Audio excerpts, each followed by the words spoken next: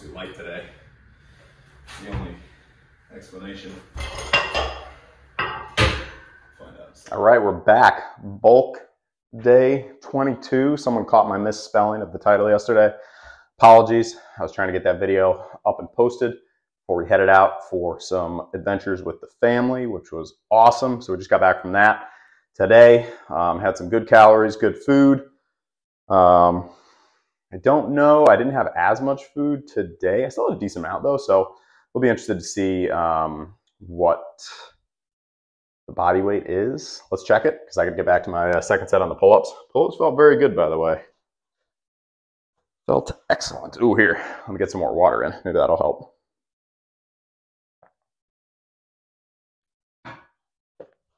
Push the numbers in my favor a little bit, right?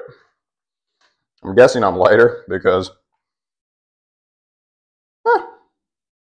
all right.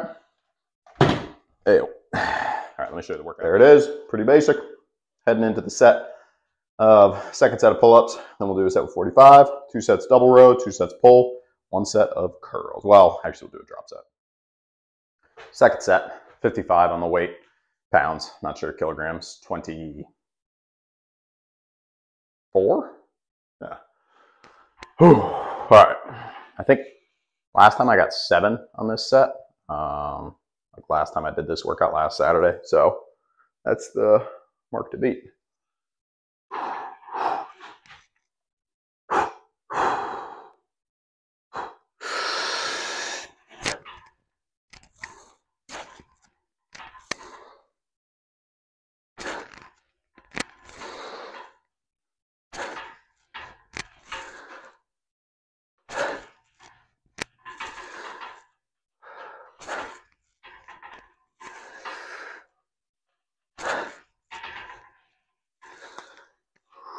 Make it a good one. Ah, those feel good today. Body weight is not really up or down, so I don't know. Little rest, and then we'll go one plate. Let's go. Third set on the pull-ups. The increase in volume has definitely been helping. Um, the body weight, get there in time. I'm definitely okay with stabilizing. Um, you know, for for a little while. I mean, calories are definitely up from the uh, cut. So, you know, I think the body has just gotten like getting used to and gotten used to in the 205 to 208 range, which is a huge increase from where we started. So I'm very happy with it. It's a journey. You know, we'll get there. Um, I prefer the incremental gains over time five pounds here and there. I want to enjoy each and every PR. Like on bench, five pounds here and there, five pounds on body weight would be nuts. You know, one pound here and there on body weight. That'll be that'll be good enough for me. All right. Good. Mic's on. Maybe 10 on this. I don't even know. He's, he's been feeling good today.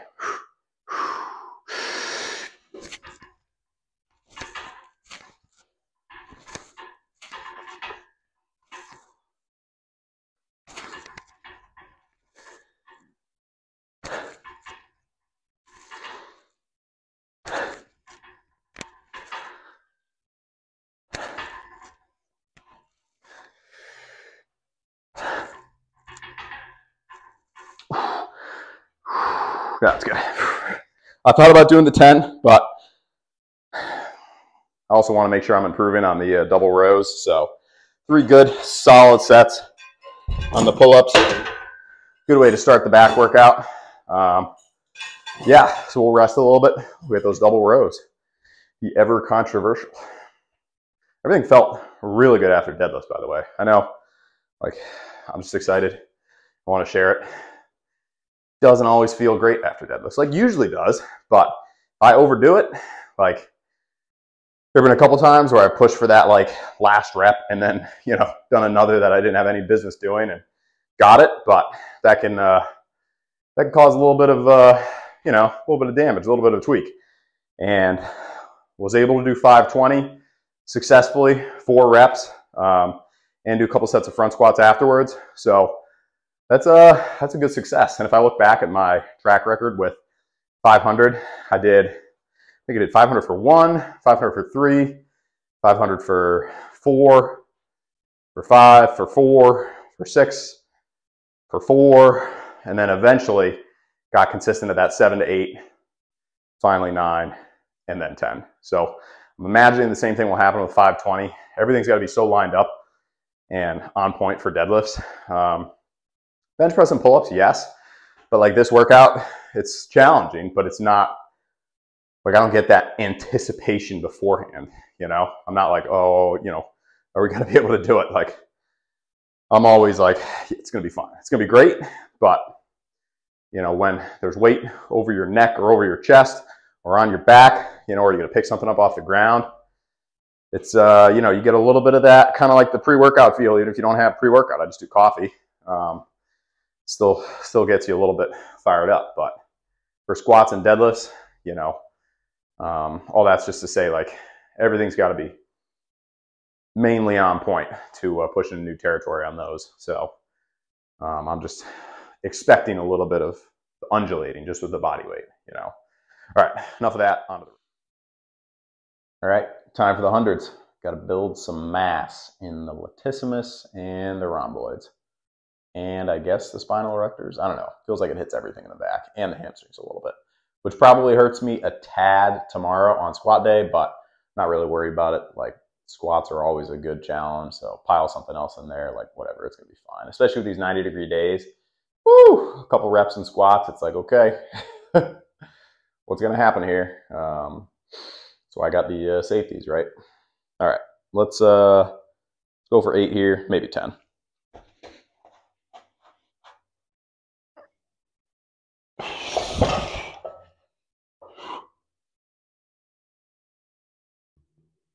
Oh boy, what is that?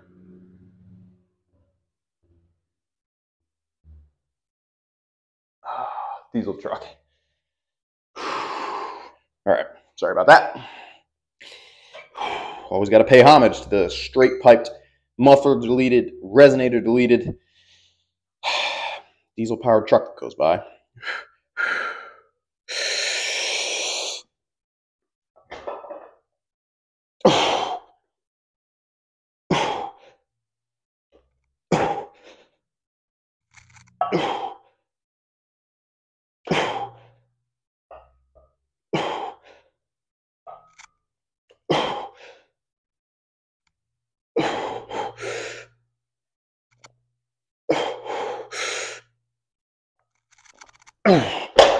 Definitely sure I'm the last one. Whew. Be another diesel powered truck. My goodness. All right, wow. so executive decision here, we're going 85s. So we might just go eight reps, but a little bit of an increase. I don't see myself increasing from the hundreds for a little while because they're still quite challenging for uh, eight to 10 reps. And my form definitely breaks down on the last two to three. So um, no, no changes there. But on the second set, I think we can get a good eight here. Or I should say, I hope we can. Got to keep the back flat.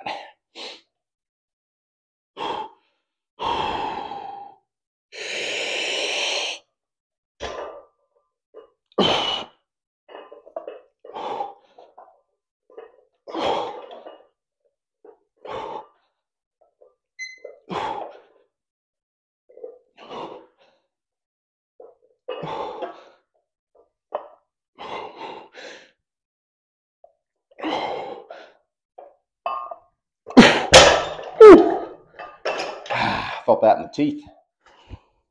Always checking the mic. All right, let's get these pull downs here. See how they feel. I mean, if I could get 12, that'll be excellent, but more likely 10 to 11 is going to happen. We shall see. Make sure this doesn't move on me.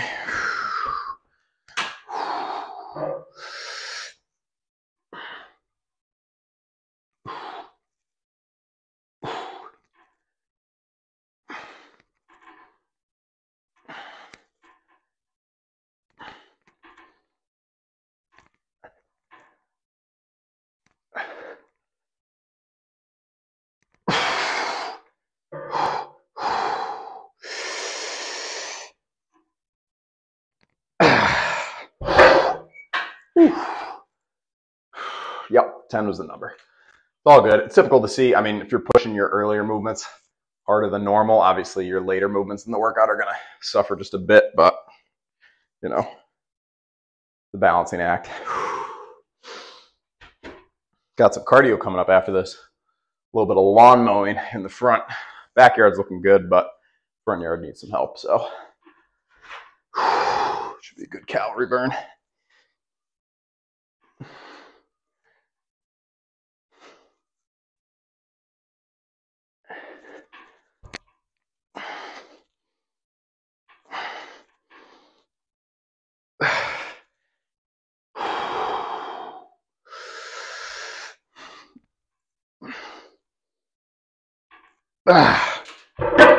Whew. Come on, lats, grow. writing down my numbers here. In real time, you're seeing the documentation. So only got 10. So I'm gonna go for six on the second set. Give it a couple seconds though.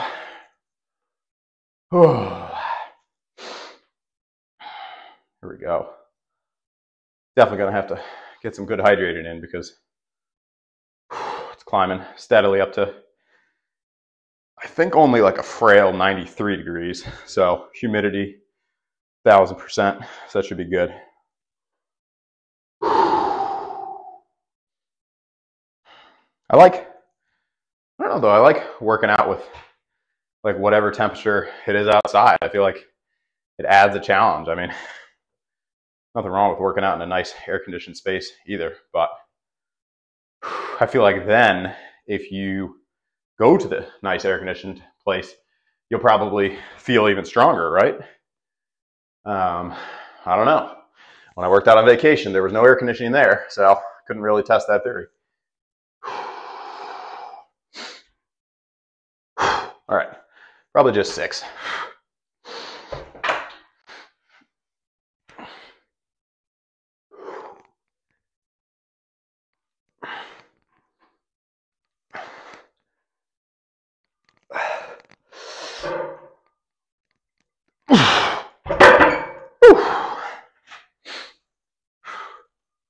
Not even that many total sets in this workout. Like if you don't count warm-ups, this is only my seventh set for back. So I don't know what other natural bodybuilders do. I mean, I feel like it's different if you're taking every set close to failure. If you're doing a bunch of, oh, you know, five reps left in the tank sets, you could probably do 30 sets of those and not really get super fatigued. Like you're always leaving five reps in the tank.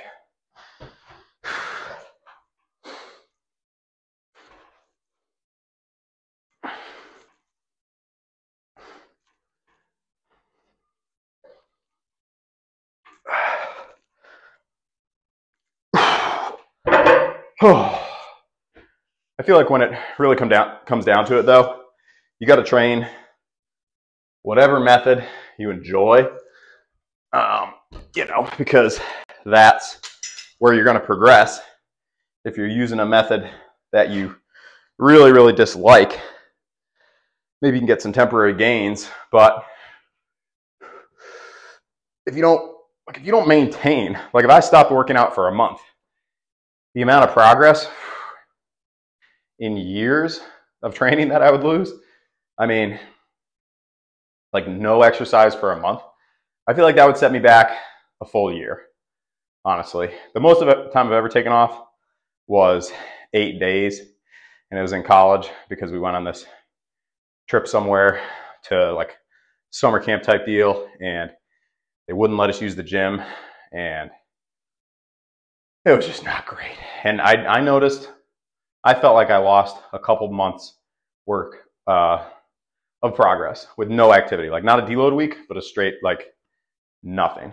Um, you know, like walking around, cardio. There also wasn't a huge amount of food, so a couple contributing factors. But a full month, no activity. I mean, just keep going forward. Like, if you're not enjoying your routine, change it up a little bit. You know, if you're not seeing progress, um, I don't really know. I mean, because I'm used to like very steady stuff sometimes and in between PRs, you know, Brian's uh, Brian's term there or Bryant. Um, so, but I just I, I just love lifting in general. So maybe I'm not the best example, but I feel like it is pertinent to be moving forward, you know, and going in a certain direction, um, whatever that may be, you know, or just feeling good. You know, if the direction you're going in is being able to feel good every day, that in and of itself is is huge. So, um, but yeah, I'm def- definitely a believer in uh, enjoying what you're doing. You know, that's why something like the uh, Smolov squat program where you're doing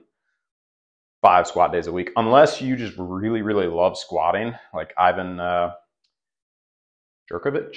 Not sure if I pronounced that right. You know, squat squat every day. He's on like day 16, 70 of squatting every day. He just loves to squat. Um, you know, but for other people, you got to find out what routine is best for you. You know, I'm still figuring it out. You know, it's always a ever evolving uh, process. So I'm going to uh, rest for a little bit we got a lot of rants going in this workout today. Apologies. You know, sometimes I get a thought. Some some workouts are just quiet, like squats. I feel like I have very little to say. it's just we're doing this. All right, let's. Uh, I'll put this away and we'll get the curls going.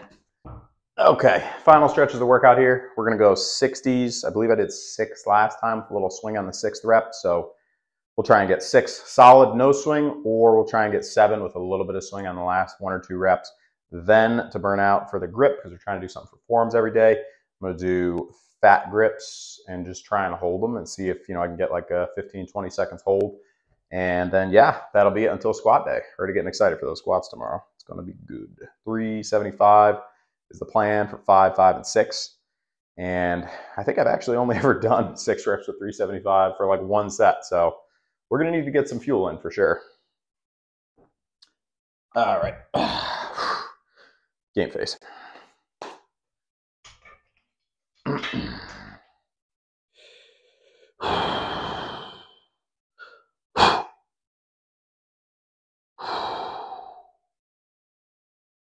Here we go. Easy seven. Got to make them feel light, right?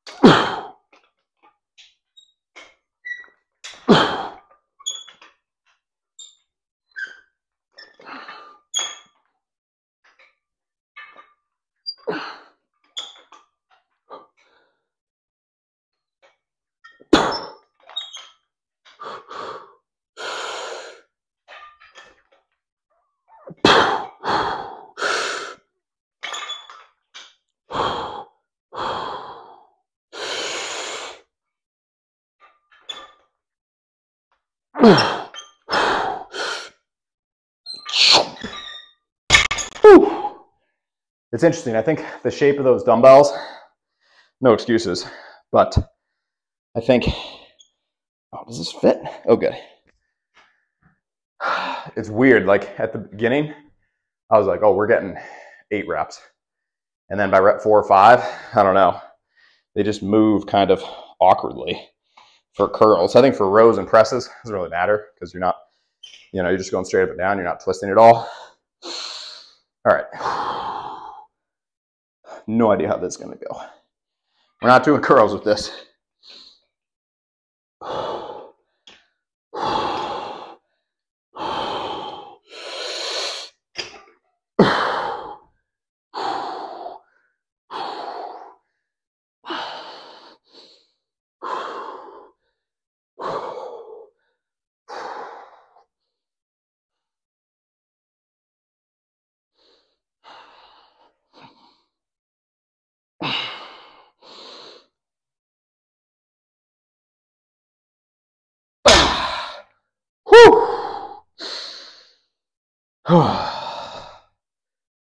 That's good stuff. I like that. Had these for a while. That was actually one of my first videos, like a long time ago. I don't even remember when. I did a fat grip review. Um, yeah, that was before the bulk series. It must have been over a year ago, I guess. Arms feel good. Should probably do one more thing. So let's get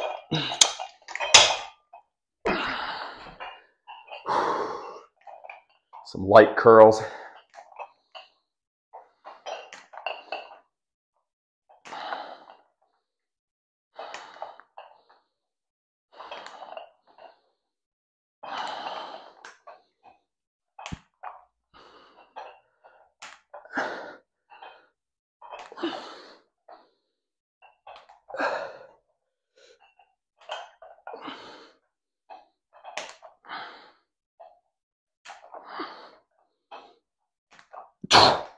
Whew.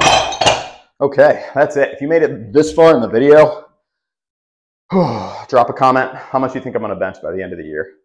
That way I know if anyone actually made it to the end of the video or not. Um, if you did, you're awesome. Thank you so much for supporting me so much. I know it's probably a longer video today because I had a couple rants in there, but I don't know. I just share things as I think about them, and I love when I get some feedback from people. You know, either like, no, that's stupid, or yes, I agree.